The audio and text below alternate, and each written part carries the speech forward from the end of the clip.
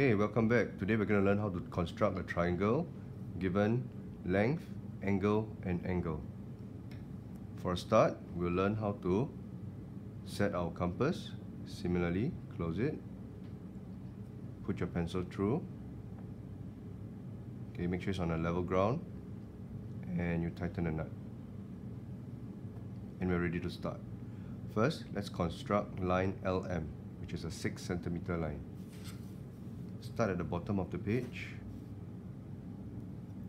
Okay, mark out 6 centimeters and join.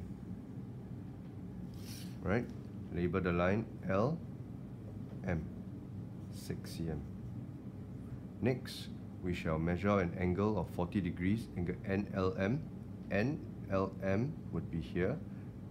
Point N is not known yet, that's fine. That's where we're gonna what we're gonna construct. So we use our protractor, put it at L.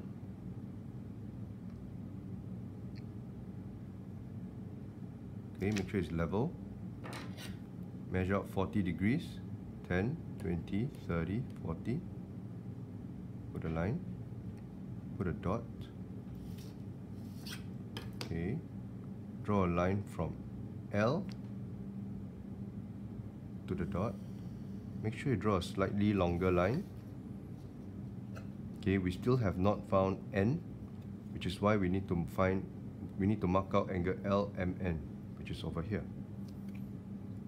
Similarly, put your protractor, rest it on point M. Okay, take your time to do this, make sure it's accurate. Measure out 65 degree, 10, 20, 30, 40, 50, 60, 5. It's over here. Put another marking there. Now use your ruler. Connect this dot with point M. Right, adjust. Now join it up. The point where they intersect, this is your point N. Okay, finally label all the angles. Angle NLM is 40 degrees, NLM 40 degrees.